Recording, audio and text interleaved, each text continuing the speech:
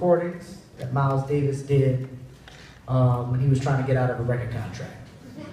So he had this big record deal with Columbia Records, but he was still on this label called Prestige, and he needed to get out of that deal, so he went to the studio, and in a very short period of time, a number of hours, he created four amazing, fantastic records that's kind of like the staple of what jazz musicians listen to. And so that selection was from one of those recordings, and it was entitled If I Were a Bell.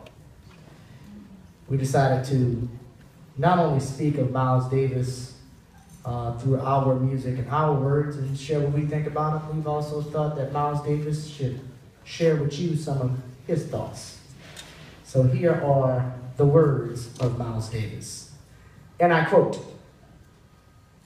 As a musician and as an artist, I've always wanted to reach as many people as I could through my music. And I have never been ashamed of that. Because I never thought that the music called jazz was ever meant to reach just a small group of people.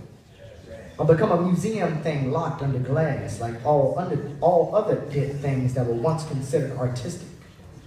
I always thought it should reach as many people as it could, like so-called popular music. And why not?